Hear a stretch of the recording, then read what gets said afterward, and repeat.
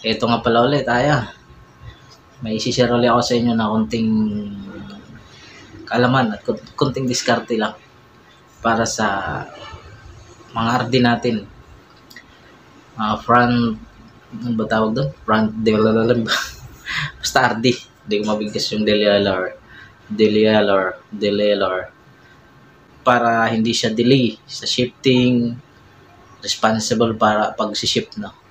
Ito ang tips yan guys. Para ma-maintenance at tumagal ang mga RD natin. Tungkol lang to sa pagpapark.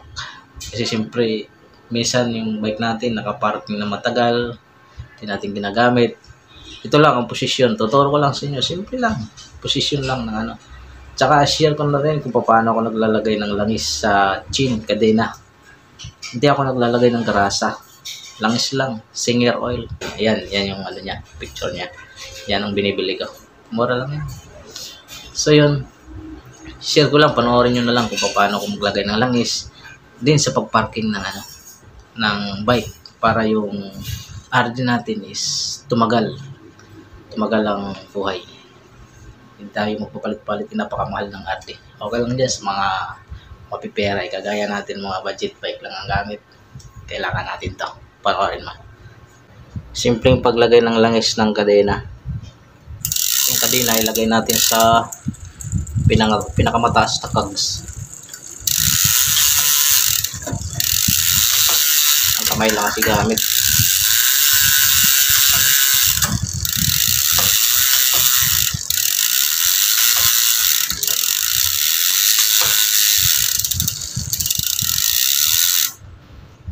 So, ayun na.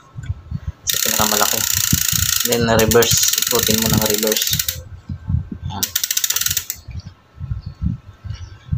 Gamit tong maruming basahan. Punasan muna natin. Hawakan mo ang kadena ng ganun. Huwag mo naman perse ng hawak. Yung tama lang. Para matanggal yung ano,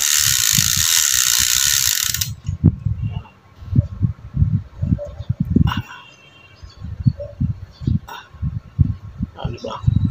Grabe dumi. Isa pa. Ganun lang.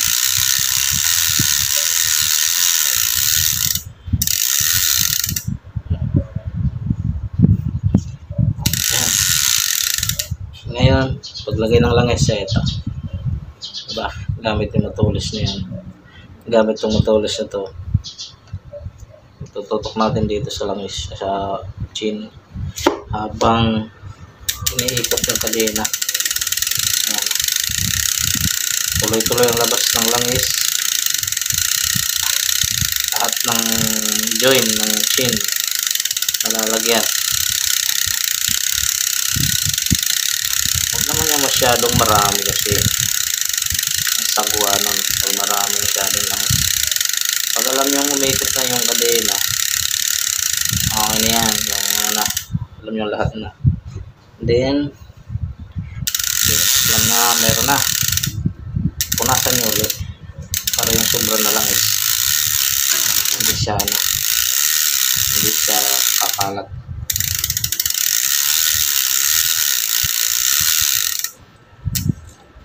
Yun lang. Yung RD nyo, to, tumagal, tumagal yung life niya. Huwag nyo siyang hayaan nakaparking ang bike nyo na nakaganyan ang kadena, posisyon niya. Nakaganyan yung RD nyo. Huwag nyo siya hayaan nakaparking ng ganyan, hindi nyo ginagamit. Lagay nyo sa pinakamaliit na chain, eh, na gear, yung kadena, yung kadena, ito, ilagay nyo dito sa maliit para yung RD nyo hindi siya unat ang spring kagaya niyan. Kagaya niyan no? Unat. Unat yung spring. Dapat ilagay mo yung kadena dito sa maliit para yung RD mo naka-relax position siya. Hindi persado yung spring. Hindi siya persado.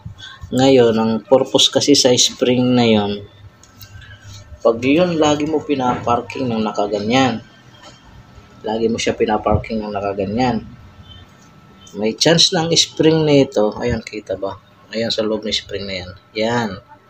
Yung spring na yan sa loob, lalambot yan, hihinang hatak.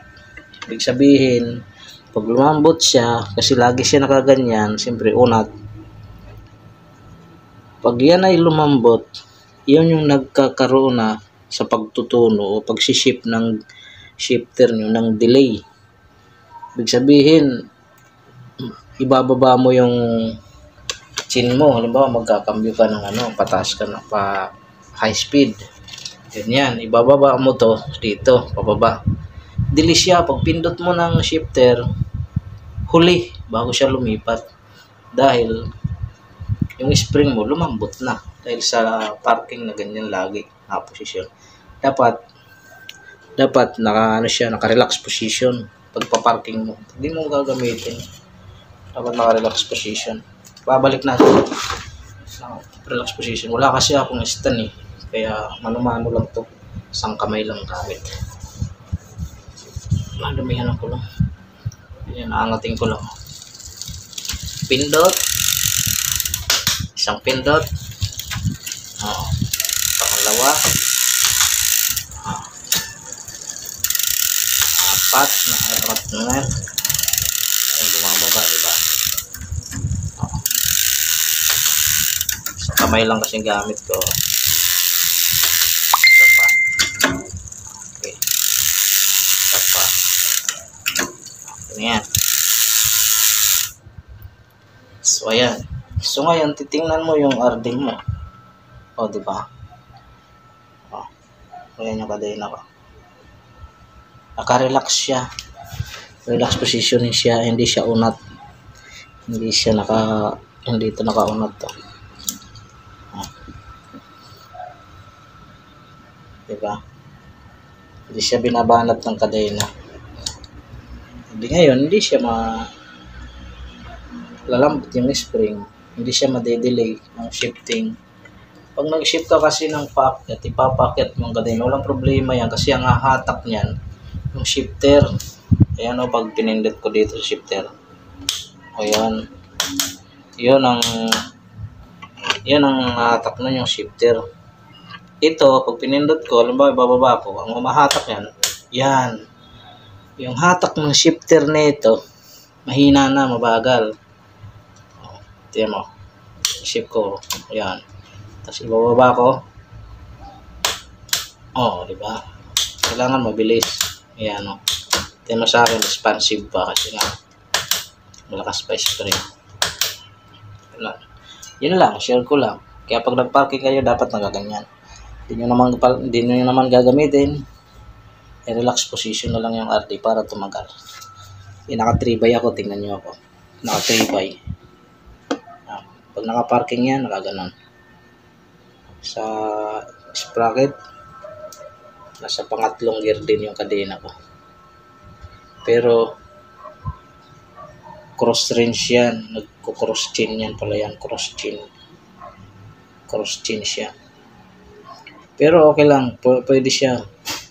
Huwag nyo lang isagad kasi nga. Pag sinagad nyo ng ibinaba ito, ibinaba ko pa dito sa pinangmaliit yung kadena ko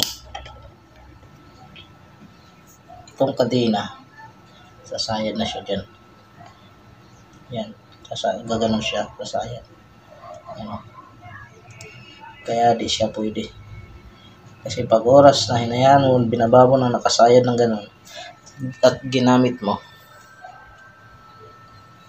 goodbye Philippines. Yun lang share lang.